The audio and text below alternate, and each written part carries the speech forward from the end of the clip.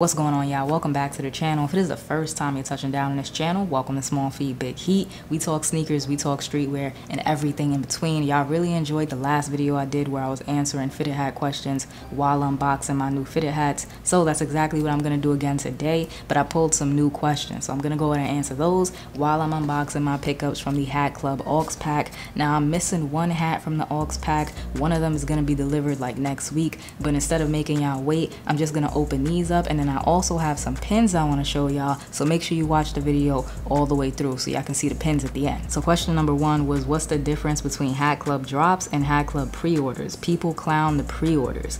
I've never really seen anyone clown the Hat Club pre-orders. I love pre-orders because pre-orders give you an opportunity to really sit and think about what hats you want to pick up out of a collection, especially if the collection is big. I think you might be reading into maybe some jokes a little bit too much. That's what it sounds like from what you wrote because I don't really see anybody clowning the Hat Club pre-orders to be honest. Um, it comes down to the difference between, you know, getting your hat that day, walking out of the store with it or ordering it online and having it shipped to you that week versus waiting three months for it. Obviously, everyone would prefer having it that week or that day, but the hats sell out so fast. I mean, getting a pre-order, if that's the only way that you can get a hat, then get the pre-order. I don't really see the problem with that. As far as differences between the hats themselves, themselves, there are differences sometimes. So like we just saw with the Hat Club Sandstorm collection, that Atlanta Braves All-Star Game patch is banned. So for the pre-order, they switched it up and that hat has a different patch. But I feel like those situations are far and few between and it's not like they're hiding it from you. You're gonna know if they switch something on a hat from when it released to when it went up for pre-order. Pre-orders are dope. It means that more people have the chance to get the hats that they want. And one thing that I really like about the hat community that I've noticed so far and everyone that I've interacted with it's been all positive. It's been all love shown. I haven't really seen, you know, much negativity. So I think that you might just be reading a little bit too much into jokes, like I said. So let's go ahead and open up this first hat.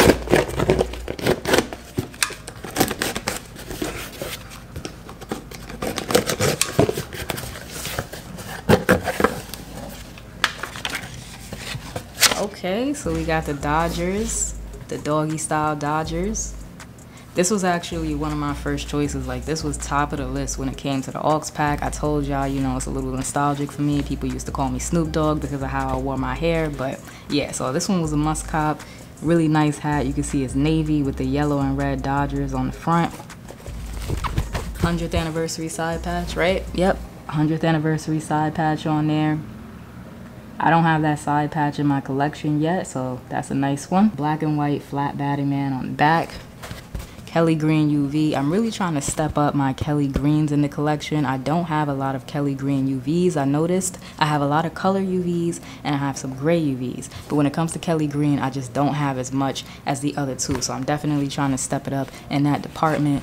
White sweatband. And someone reminded me I never updated y'all on how the, the sweatband liners went. I did try them out. They worked okay. I can't really complain about it. It's basically just a sticker that you put on the inside that protects the sweatband. But my sweatbands really don't don't get dirty because I try to clean them every time I wear the hat. So it works, but I just really didn't have much use for it. If they're still in stock, I'll link them down below in the video description for those of y'all who have that problem. Like I said, when I did my ranking the Aux Pack video, I thought all of the Dodgers hats came out sick, but this one was my personal favorite, so I'm really glad that I was able to scoop this up. And that's actually a good transition because one of y'all did ask a question about LA in particular, so I'm gonna read exactly what you said. This way I don't jack it up. It says, do you know what hats are okay to wear in LA? I'm going with friends for two weeks and want to come back the same way I leave.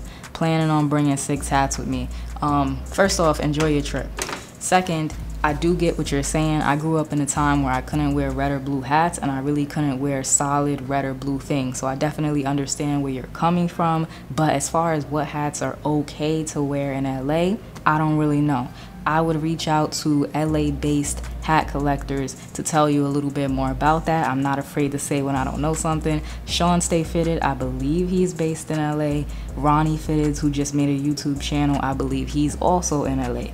I would try to reach out to those guys. If they answer you, they, they might not, they might, I don't know. From what I've seen from their content, they both seem like cool dudes, so you might get an answer before your trip. Reach out to them and find out. Now I'm actually interested in what hats are okay to wear in LA because I've been to LA and and I wore whatever I wanted, and it wasn't really an issue the whole time that I was out there. So I'm actually interested. Hopefully, you get an answer. And also, I know some of the people that watch me are from LA. So if you're watching this and you're from LA, down below in the comment section, help out a fellow hat collector. Let him know what hats he can and cannot wear in LA. Because I think it might actually depend on where in LA you're going, what you're doing, and also just how you conduct yourself, to be 100% honest.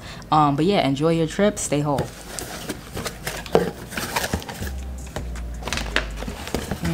Start with this one start with this one right here. So this next hat I picked up is this Phillies joint. It's a black Phillies hat. You got the metallic Phillies logo on the front. It's like metallic threading. It really pops out against the black. You got a teal outline I really like that front logo. It stands out. I'm a big, big Meek Mill fan. That is like my get up and go music. This and Big Sean. I listen to it between takes while I'm filming. I listen to it while I'm editing. It's just that, I don't know, it's that grind music. When you're grinding, that's the type of music that you listen to. 2008 World Series side patch on this one. Same colors, some teal, some white, and some black in there. Black and white batting man once again, flat batting man, gray UV on this one. I like how the aux pack has so many green and gray UVs, keeping it wearable, keeping it clean, white sweatband. This is a really good looking hat. And that brings me to question number three, which was a really good question. How do you tell what's gonna look great in real life? Sometimes great hats look like duds online. You ain't never lied, that is the truth. Um, I used to think it was just Hat Club that didn't take the best product photos, but now that I'm shopping other places as well, I realize that no one has good pictures of their hats. The online photos really do suck. You have to look other places. That's why last video I recommended that y'all do follow the hat designers on Instagram. They post a lot better photos. You can really see the colors, you can see the patches. The photos just look a lot better. There's also the fact that when hat companies take product photos, they're doing it with the flat brim. Personally, because I wear my hats curved, I like to see the hat curved. But sometimes that's just not possible. So I just stick to what I can see, right? I can see the colors, I can see the front logo, I can see the side patch, hopefully,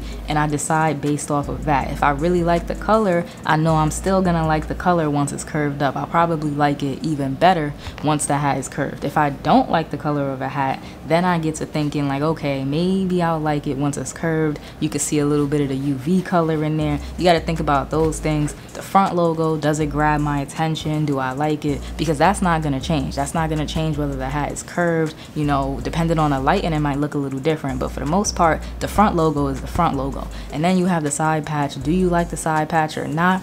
I'm not a huge baseball fan, so that whole loser patch, winner patch thing, I don't really have to think about that. But if you're a baseball fan, maybe that makes a difference for you. So all of that goes into whether or not you're gonna like a hat online and in hand once you get it. Sometimes you also just gotta take a chance. I've missed out on a lot of hats because I did not like the product photo. For example, the aux pack, uh, the 50 cent hat. Like I said, it was a good hat, and I think I gave it a five just based off of nostalgia. But the product photos for the hat just didn't sell me. Now that I've seen the hat like curved and on people's heads, now I want the hat. So like I mentioned, I do have one more aux pack pickup on the way, but this is gonna be the last one for this video, and then I'm gonna get into the pins.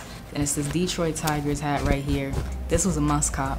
The colors go crazy, and y'all know I like colors. There's like four different colors just on the front logo. You have three different blues in there the hot pink. I've never seen colors like that used on this front logo. 2005 All-Star Game patch with the same colors, that hot pink and that teal blue. It just really pops against the black. It translated really well from the I Decided album cover to the hat. Tonal New Era logo with the hot pink or neon pink UV. I'm not really sure, but it's bright. It's bright. White sweatband. Everyone's entitled to their opinions, but if you ask me, this was best out of the pack. So these are my aux pack pickups. When that last one comes in, I'll make sure y'all see it in the next unboxing. They all came with the round Hat Club goldish pin.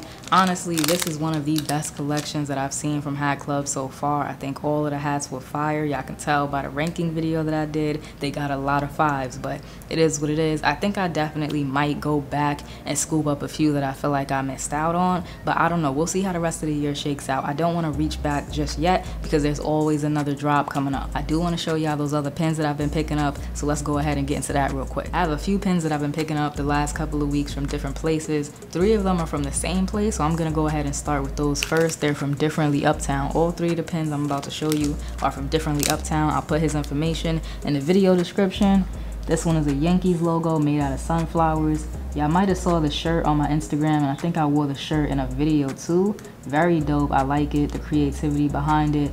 Differently Uptown. Then I bought this other one. You can see it says differently uptown on the backing card. Presentation is key. Don't forget presentation. Then you have a woman in a fitted cap with the puff puff and the door knockers, the bamboo earrings. This is dope. Just showing love to all the women who wear fitted caps out here. Very, very cool.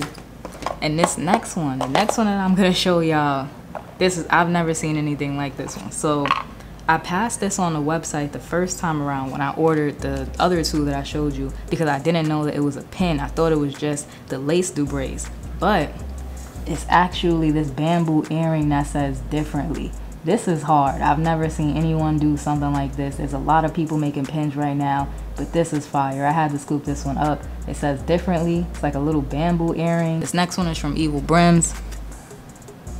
And it's a monkey wearing a fitted cap. Hopefully that focuses so y'all can see it. But it's a monkey in a fitted cap. And the fitted has like the upside down New York. Y'all know I love those hats. I still do. I wear them. It says evil on the backing card with the can't see, can't speak, and can't hear monkeys. This is a cool pen. It's fun. Evil brims. So the next one I picked up I got from eBay and the seller was a complete douche, but I still bought the pen. It's a Nike pen, probably from Air Max Day. You can see it says Air in green, red, and yellow. It's a nice pen. These next two are the same. They're from Headquarters NYC. I picked up one for myself and one for a friend because it's kind of like a little inside joke, but it's the OnlyFans logo, except it says only scams. I don't know. I just thought it was hilarious and it became an inside joke. So I picked up two of the pins. Now I have one and my friend has one.